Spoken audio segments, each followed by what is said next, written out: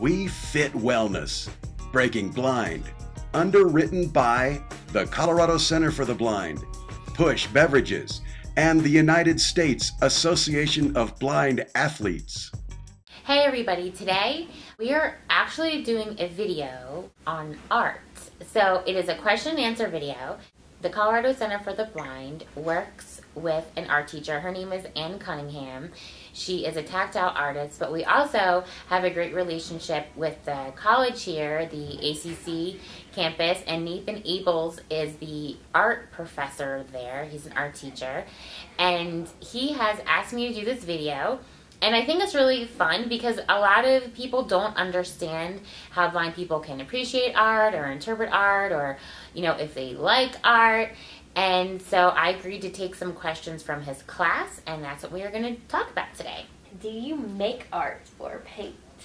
I have actually made a wax butterfly butterfly sculpture that I had bronzed at the foundry, and well, I did that, and I've also worked in our wood shop here, and I made a table, and I painted it, and I tiled it, and I stenciled it, and I also made a cutting board, and I mean woodworking is art too. so yeah, butterfly. Yeah, it's sitting on my end table at my house. Oh my goodness, I love butterflies. So, do you like to attend galleries or museums?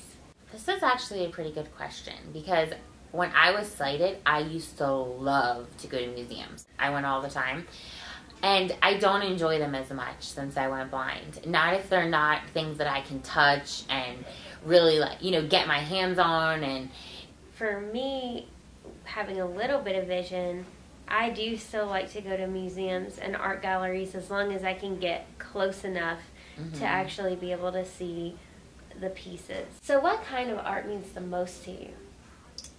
So I think literary art means the most to me. I love to listen to books. What might sighted people miss in the arts that you typically get?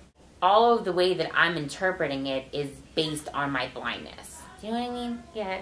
So I feel like I have a really, really good imagination. So in literary art, I feel like I can imagine everything in the book really, really, really well. But that doesn't mean that somebody with sight can't do the same thing. Do you? What do you think?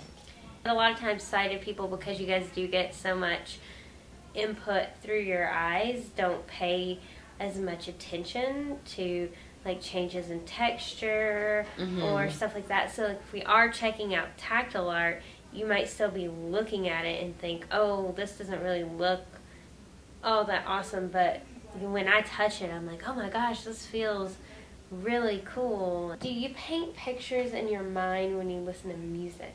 I have so I call them my like my music video songs or like my montage songs. So you know that song, um, Midnight Cities by M83. Do you know that song? Yeah. so every time I hear that song, it's like it's my montage. I see myself doing all these really cool things. Like I'm like like hiking and like climbing and like or like flying like just really really super cool things. Like i look super fashionable. I'm like in italy or like you know what i mean? Like all these really awesome things. And i flip through that I, it's like my movie. What does color mean to you? Color means a lot to me. And i don't know if that is because i had sight at one time but i for me color is so much to do like it changes your environment and your mood and your feeling. And i love to be look coordinated. So color is a big deal with your clothing with your design of your house. So i mean color is huge. So if you go into a room is your emotion ever affected by the color of the room? So differently if it's a pink room or a green room or a blue room? Well i would have to someone would have to tell me the color. But you're not going to go start grazing just because you're in a green room. No, or get hostile because no. you've gone into a yellow room. Yeah, or, or like I can't feel color. Yeah. Like so, one time I was on 16th Street, and I was walking, and this guy's like, "Can you feel that my shirt's blue?" I was like, "No." Thank you, everybody, for asking these questions. They're really interesting.